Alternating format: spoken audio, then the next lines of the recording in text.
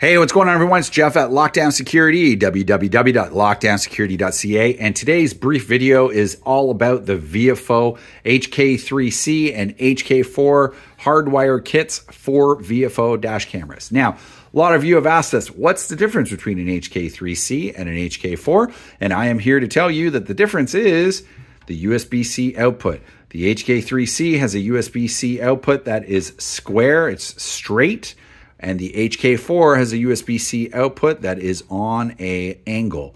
Whether you call it a right hand angle or a left hand angle, it basically plugs in either way because it's USB C, but it is an angled connector. And they call for these cables for the different models. I just made a video on the T130, which calls for the HK4, but they are reversible. You could use either cable in either application.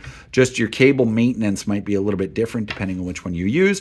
For all of you, all of you who are asking kind of what these do, they essentially take 12 volts in and drop it down to 5 volt USB out. The other thing they do is allow you to utilize parking mode. And if you take a look here, they have got a voltage cutoff. Essentially, you can set it to 11.8, 12, 12.2, 12.4. If this senses an input voltage that is below the set threshold, it will shut power off to the camera.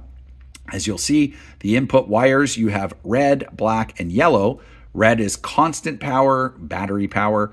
Black is chassis ground, and yellow is ACC, otherwise known as accessory or ignition. Essentially, that's your switched input that tells this device when to start monitoring the battery voltage and when to switch the compatible camera into parking mode. Uh, these are universal cables. They are designed to work with Viofo cameras specifically. However, if your camera has a USB C, as in it's not a Viofo model, you could utilize uh, these cables. Hopefully that helps to solve the question of what the difference is between the HK3C and the HK4. There are two other versions, older versions of these camera cables. There's the HK2 and the HK3. HK2 mini USB has power and ground input. That's it. Battery cutoff. That's it. No ignition. Excuse me, no ignition input. HK3, which is the prior generation to this, same thing, mini USB instead of USB C with an angled uh, USB connector, but all things equal, same inputs, same little dongle, everything just different USB end. Hopefully that cleared up what the difference was. If you like this video, hit the like button. If you could subscribe to our YouTube channel, it goes a long way to help us make more videos like this in the future. Link to these products in the description below. We sell dash cameras on our website, lockdownsecurity.ca.